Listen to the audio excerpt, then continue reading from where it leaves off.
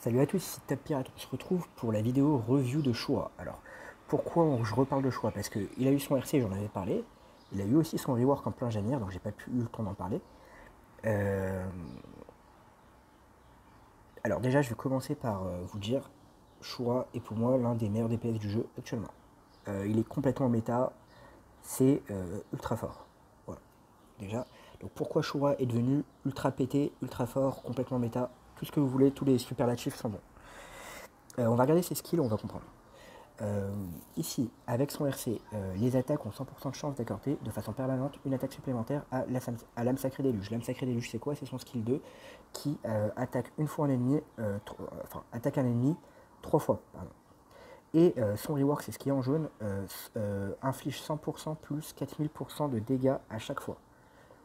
Donc c'est 100% x 3, donc 300% de dégâts enfin fois le nombre de fois que tu tapes, parce que on a vu avec le, skill 5 que ça peut augmenter à chaque fois. Donc ça fait 300% de dégâts euh, plus 4000 d'attaque P. Donc c'est complètement fumé. Mais sachant que euh, il peut attaquer euh, à chaque fois plus. Enfin ça va très vite augmenter à 4, 5 fois, 6 fois, 7 fois. donc 7 coups. 7 coups à 100% d'attaque plus 4000, ça va faire 700% de dégâts en attaque P, qui peut crit. Vous voyez où je veux en venir? C'est n'importe quoi. Euh, les attaques ont 100% de chance d'accorder une façon ok. Euh, jusqu'à 10 attaques en plus. Jusqu'à un maximum de 10 attaques, pardon. Euh, si cette attaque porte un coup fatal, Shura gagne de façon permanente 20% de crit supplémentaire. Alors c'est 20% d'effet crit. Donc c'est ces dégâts crit qui vont augmenter, ce qui est complètement fou. Et vous allez comprendre pourquoi aussi. chaque attaque a 75% de chance de repousser l'ennemi. Donc ce qu'il faut comprendre, c'est que il va, sortir les lianes de jaune, mais il va aussi sortir les personnages euh, du bouclier de chez EGC. Donc, Shura est plus que méta, c'est un monstre. Euh, pourquoi euh, Donc, le fait qu'il gagne, si vous tuez quelqu'un et qu'il gagne 20% d'effet crit, c'est monstrueux parce qu'il gagne 1000 de taux de crit avec son sort à 5 sur 5, son sort 3 à 5 sur 5. C'est-à-dire que ça, vous avez un perso qui va presque tout le temps crit, qui va gagner de l'effet crit, donc il va, il va crit ultra fort, qui tape à chaque fois, à chaque tour, un coup de plus, euh, fort, dès, le premier coup, hein, déjà 300% plus 4000 euh, d'attaque P, c'est déjà euh, des bons dégâts au premier tour. voilà, bref, Shura, le monstre de tous les temps. Voilà. Comment j'ai mis, quel cosmo j'ai mis sur Shura? Forcément, pour augmenter encore l'effet crit P, goutte de feu. chaîne des pourquoi? Parce que vous allez principalement faire des one-shots avec Shura, donc des personnages full vie. Euh, l'énorme avantage de Shura, c'est qu'il est, euh, grâce à son rework, il a gagné 85 de vitesse, ce qui en fait l'un des DPS les plus rapides du jeu. Vous allez concrètement jouer avant la plupart des Milo, des Doko, des Mew, euh, bref, toutes les grosses menaces sur lesquelles vous pouvez tomber. donc Shura est rapide, il est fort, il tape fort, il peut one-shot, que demande le peuple? on le met en Vulcan Chain, comme je vous ai dit, en chaîne des Phaistos, pardon, parce que ça, il va one-shot des personnages souvent full vie. Donc avoir 40% de dégâts de plus, c'est vraiment monstrueux. Euh, on le met en feu de cristal, pas en serveur, parce que comme, on l'a vu, il a déjà un bon taux de crit. Euh, pas la peine des serveurs. Surtout, on va, on va appuyer l'un de ses points forts qui est la vitesse en le mettant en feu de cristal. Donc feu de cristal pour moi est vraiment le meilleur choix. Et donc les gouttes de feu pour augmenter l'effet crit P, comme ça vraiment ces crits euh, font des dégâts monstrueux.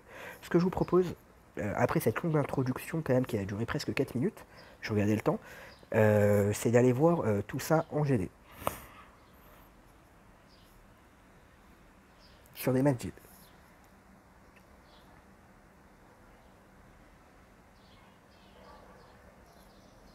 Donc voilà, j'ai eu j'ai fait un petit peu de live euh, cet après-midi, donc je vais, je vous montrer euh, les deux derniers matchs. On regarde face à l'Ortor.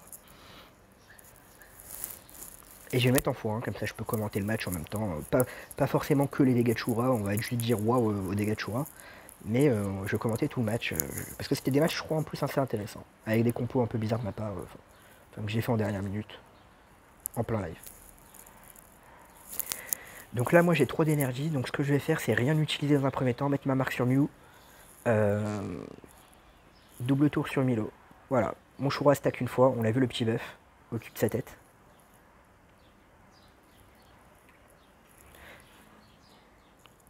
Alors ce que je fais ici, c'est que je focus euh, Malheureusement, ça part sur Doko. On maîtrise pas Milo.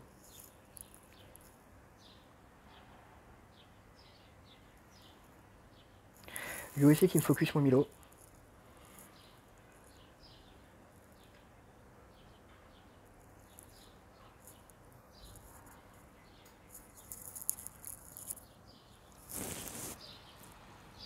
Ah, il protège son Doko, il va absolument lancer Doko.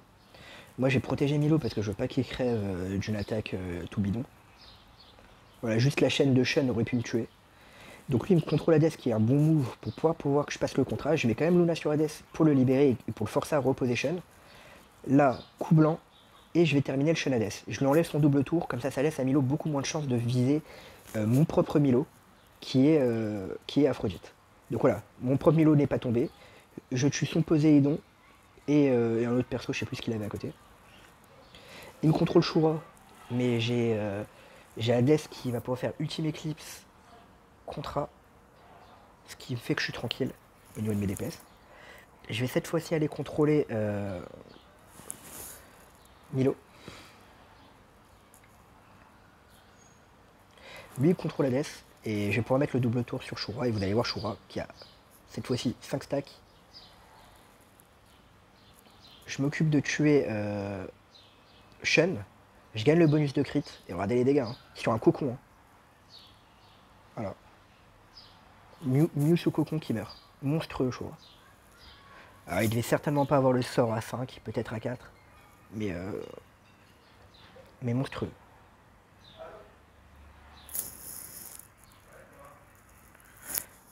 Je vous propose de regarder le dernier match face à Oulala.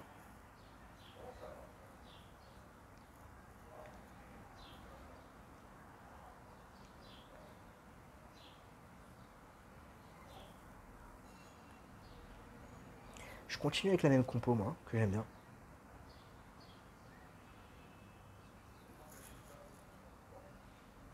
Donc une compo très offensive hein, avec double, enfin avec deux fois double tour.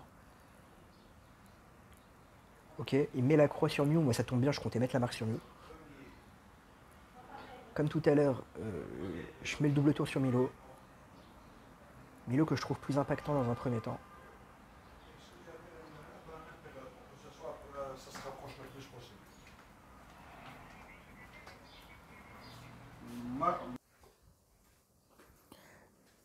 Ok. Donc lui qui lance Orphée, mais moi je vais pas laisser Orphée poser son jeu, je vais essayer vraiment d'aller le focus direct. Là, dans un premier temps, au départ, je comptais... Euh, là, je vais aller contre le Mew, il me semble. Si on peut ralentir l'évolution de Mew, c'est toujours bon à prendre. Voilà, je bloque son Mew. Il y a la petite graine, mais ça suffit pas pour me faire mal.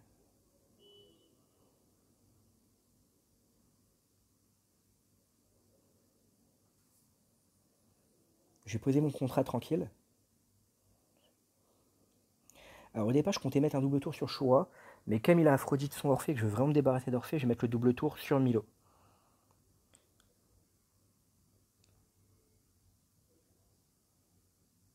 A noter le vol de vie qui va me permettre de taper euh, la croix euh, sans prendre trop de dégâts malgré la gaine.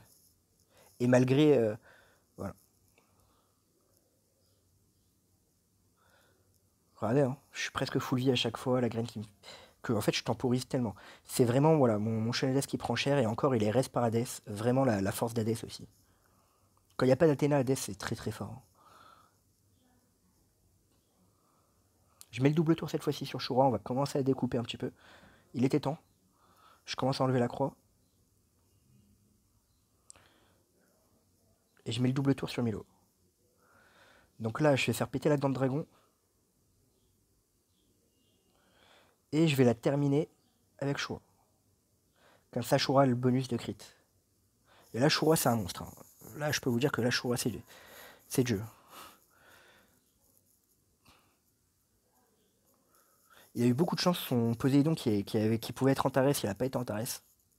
Ce qui lui permet de tuer mon Hades définitivement. Et là, il abandonne, j'ai mis le double tour sur Hades. Hades allait rentrer dans le game, ça allait être très très compliqué pour lui. Et euh, c'était oulala, donc euh, quelqu'un avec de bonnes optis. Et vous avez vu que juste en ayant deux stacks, euh, j'ai mis, j'ai fait proc la dent de dragon sur sa, sur sa Pandore. Juste en ayant deux stacks. C'est-à-dire que déjà, si vous mettez un double tour tour 1, admettons, vous lui faites proc les deux stacks. Tour 3, il peut déjà potentiellement one-shot, ou en, tout cas, ou en tout cas mettre un perso entre, entre 5 et 20%. Donc tour 3. Et si vous lui remettez un double euh, tour 2, pardon. Et si vous lui remettez un double tour tour 2, je pense que son. Voilà, vous le faites stack 3 fois, je pense que son quatrième coup donc, de la partie, tour 2, one shot n'importe qui. Voilà pourquoi Shura est pour moi l'un des meilleurs persos du jeu actuellement. On va finir. Euh, je regarde si j'ai autre chose à dire sur Shura. J'ai parlé de sa vitesse, j'ai parlé du fait qu'il pouvait enlever du bouclier de Shiryu et de Jun. Euh, voilà, je fais une petite synthèse. Hein. Euh, dégâts monstrueux, vitesse, vitesse vraiment très bonne, ouais, je, le redis. bref, que des qualités. Vraiment, Shura, ah oui, un petit défaut, il est fragile, mais pour ça, vous l'entourez bien. Vous lui donnez un peu de tankiness, que ce soit avec une Saori, un Hades, ou un détournement de POG qui, qui, qui fera qu'il prendra pas de dégâts. Voilà, vous trouvez une solution pour le protéger comme vous pouvez. Et, euh, ou des contrôles, tout simplement. Parfois, les euh, la meilleure protection, c'est de mettre des contrôles. Bref, euh, Shura, un monstre. si vous l'avez pas RC, là, clairement, RC-le. limite, c'est pas limite, je conseillerais même de RC Shura avant un Milo ou un Doko actuellement. C'est pour vous dire à quel point il est passé plus fort. C'est mon avis à moi, ça n'engage que moi, c'est un avis aussi d'un finesse du Jamir, donc c'est pas n'importe quoi ce que je vous dis. Mais très franchement, entre Milo et Shura, actuellement, si je devais monter l'un des deux, je monterais Shura en priorité. Voilà. Euh, alors Milo, il a quand même des avantages. Euh, il a l'avantage de coûter zéro, il a l'avantage de ne pas être euh, sensible à Evil Saga. Mais déjà, il n'y a pas beaucoup de monde qui joue Evil Saga en ce moment, je trouve. Et que de toute manière, après moi je pense aussi dans une optique voilà, quoi qu'il arrive, Shura, il n'y a pas trois équipes avec Evil Saga, Shura c'est un monstre. Shura, euh, si vous franchement, si vous tombez face à un Shura, je vous conseille de le contrôler le plus vite possible ou de le tuer le plus vite possible. C'est au choix. Euh, je vous dis à très bientôt pour de prochaines vidéos. Si vous avez aimé, la vidéo, je vous invite à lâcher votre pouce bleu, abonnez-vous si ce n'est pas déjà fait. Et euh, si vous avez une minute à perdre, allez mater 2-3 pubs sur YouTube, c'est le meilleur moyen de me soutenir gratuitement. Ce serait cool. Merci d'avance et à très vite pour de prochaines vidéos.